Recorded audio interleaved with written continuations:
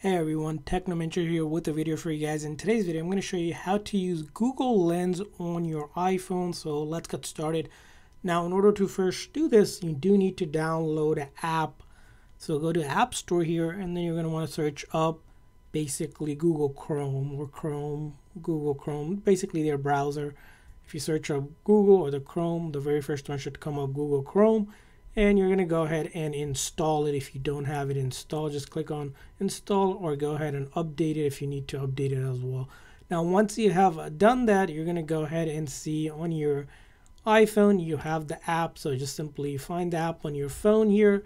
I have already downloaded. Now if you don't see it on the home screen it might be on the very last page of the app library. It's simply find it there or add it to the home screen. Now once you have done that go ahead and open up your Google Chrome app. Basically, it's another browser.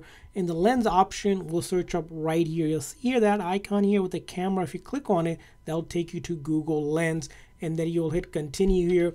Now you do have to give access to the camera. So you're going to go into your settings or allow access and make sure the camera access is allowed. And then once you have done that, we're going to go ahead and click it again one more time. And now we can start using the Google Lens here. So I have something here. And if I wanted to see that with the lens, click on it and it will begin the process to search that. And you can see here, you can adjust the settings.